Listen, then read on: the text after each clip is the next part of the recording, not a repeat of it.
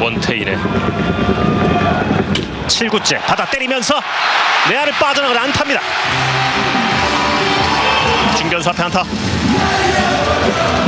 타이밍이 좀 약간 높은 볼이기 때문에 타이밍이 좀 약간 늦은 듯 했습니다만 몸통 회전을, 회전을 잘 하면서 결국은 좋은 안타를 만들어내고 있는 신민재 타자예요. 예.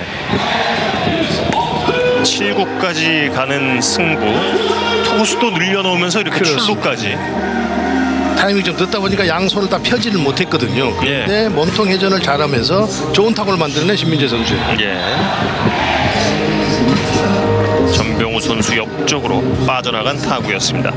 오스틴 딘 3번 타자가 타석에 들어왔습니다. 자, 결국은 전병우 선수가 지금 주자가 이렇게 있을 때 더블 플레이를 하는 과정이 생긴다고 한다면 그것을 어떻게 매끄럽게 잘 예, 끌어당긴 타구인데 유격수 맞고 뒤쪽으로 신민재 3루 3루까지 미끄러져 들어갑니다.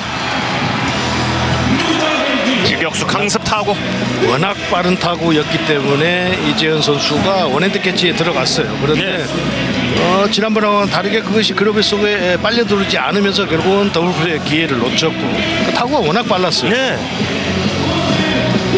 강렬한 타구였습니다. 바운드가 또 조금 더, 더 뒤쪽에서 바운드가 됐어야 이재현 선수가 포구하기가 위치가 좋았을 텐데 조금 앞쪽에서 포구가 되, 는 어, 위치였고 타구가 빨랐기 때문에 포구를 할 수가 없었습니다. 예. 잡아냈다고 한다면 정말 nice play입니다. 그렇겠죠.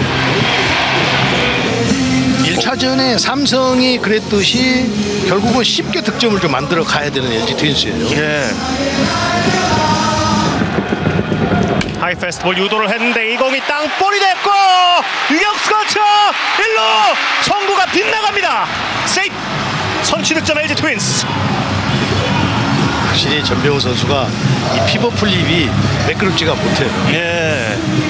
거기서 시간이 지체하다 보니까 이재현 선수가 빨리 하려다가 조금 약간 송구가 우측으로 빗나갔거든요. 그렇군요. 정확하게 송구가 됐다고 해도 1루에서는 아웃을 시킬 수가 없었어요. 완전히 먹힌 타구였는데 이 피벗 플레이예요. 피벗 플레이 동작이 매끄럽지 못한 전병우 선수이기 때문에 좀 시간이 걸려서 지금도 아. 글러브를 에, 정확하게 보고 왔는데 여기서 빼는 과정에서 juggle이 계속 일어나고 있지 않습니까? 예. 예.